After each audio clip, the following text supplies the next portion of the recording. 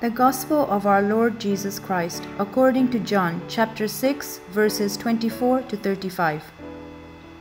So when the crowd saw that Jesus was not there, nor his disciples, they themselves got into the boats and went to Capernaum seeking Jesus. When they found him on the other side of the sea, they said to him, Rabbi, when did you come here? Jesus answered them, Truly, truly, I say to you, you are seeking me, not because you saw signs, but because you ate your fill of the loaves. Do not work for the food that perishes, but for the food that endures to eternal life, which the Son of Man will give to you. For on him God the Father has set his seal. Then they said to him, What must we do to be doing the works of God? Jesus answered them, This is the work of God, that you believe in him whom he has sent. So they said to him, Then what sign do you do, that we may see and believe you? What work do you perform? Our fathers ate the manna in the wilderness, as it is written, He gave them bread from heaven to eat. Jesus then said to them, Truly, truly, I say to you, it was not Moses who gave you the bread from heaven, but my Father gives you the true bread from heaven. For the bread of God is he who comes down from heaven and gives life to the world. They say to him, Sir, give us this bread always. Jesus said to them, I am the bread of life. Whoever comes to me shall not hunger, and whoever believes in me shall never thirst. Hello again, and welcome back to Hat Happy Active Town Kobe.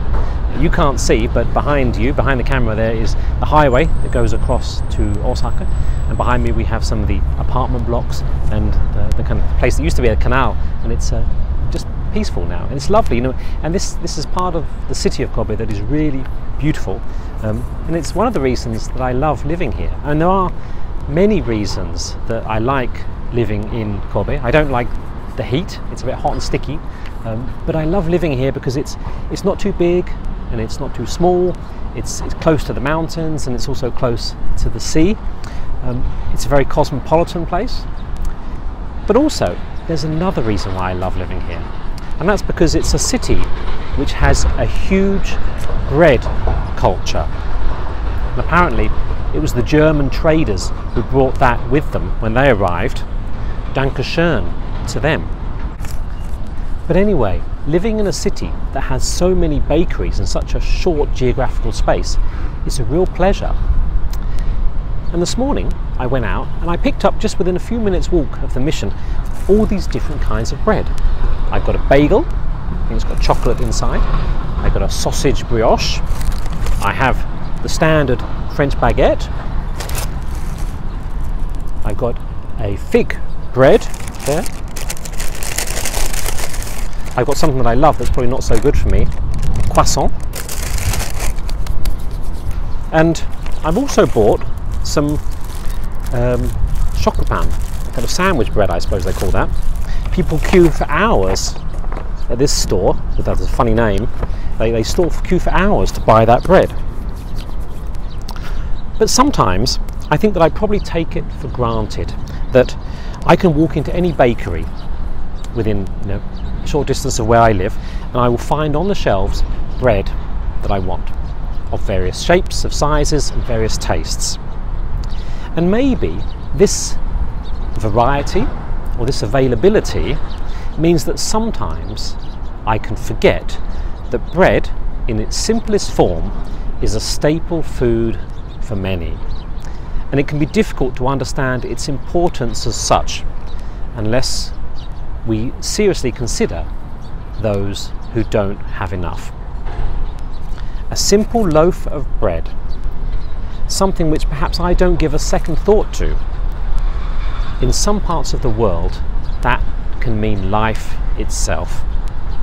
And that is exactly what Jesus wanted to emphasize in today's reading. Well, it's exactly what he wanted to emphasize over the next few weeks, actually, because we have the same thread for the next couple of Sundays. And he wanted to emphasize that because it is important. A bread that means life, a bread that brings life, but it's not made of flour. Now, just a few weeks back, we heard the account of the feeding of the 5,000, what maybe it was 10,000 or 12,000, but we heard that story when Jesus provided what the people needed when they needed it. And today's gospel continues that story. So let's see what happened. We find that same crowd having stalked Jesus from one side of the lake to the other. And the reason? Because for them, having been given one free meal, they were looking for more. And of course, Jesus knows that. He's not stupid. And he says it to them straight. He says, You guys are only here because I gave you those fish sandwiches, not because you saw what I did. It was not the miracles that brought you to me, it was because you had your fill of my lunch. And then he goes on and says, You need to be careful not to spend your time, not to spend your lives seeking out the wrong things for the wrong reasons. Don't work for food that perishes, but work for that which brings eternal life. Because Jesus knew that that crowd were hungry for more than just food. He knew that, that deep inside them they were empty. Not just that their stomachs were rumbling, but because they were looking for that deeper connection with God. And Jesus knew that that was something that could not be satisfied by food or by anything. And he wanted them to realize that too. To satisfy that hunger for God, Jesus says, you must receive the bread that comes down from heaven. Well, that was it. That confused the crowd no end.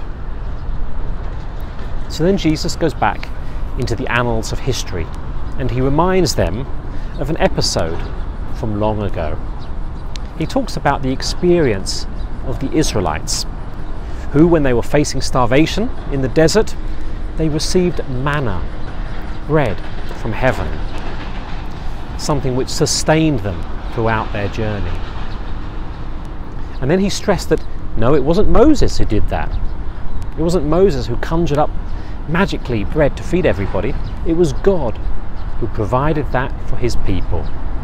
It is only God who can provide the sustenance that we need. That is the message, that simple message that Jesus wanted to get across to the crowd who had chased him, looking for a good meal. And that is the message that he wants to get across to us reading this gospel in 2021 as well. It is only God who gives life to our world. It is only God who provides what we need to sustain us as we face our daily and our difficult lives. But what do we need? We need encouragement, comfort, power, patience, support, love. The list goes on. I'm sure you can think of so many other things that we need to help us get through the days that we face and the difficult times we have. And I'm sure that you've had days when you need some of those things. Maybe you've had these days when you need a lot of those things. And Jesus tells us today that the only way we can get it, as he says in the last line of the gospel we heard just now, is by coming to God, by being in a relationship with God. And that means that, like any relationship, we share things. We tell God about our problems, about our worries, about things which upset us or things which excite us. We tell God about the challenges that we are facing, but also we listen for His guidance when we have decisions to make. We listen for His reassurance when we feel uncertain. We listen for His warmth when we feel lonely. And through all of that, we should be able to gain the strength that we need to live in this world with everything that it throws at us. The bread of heaven that gives life to this world is not some kind of toast, or even toast that has Jesus' face imprinted on it.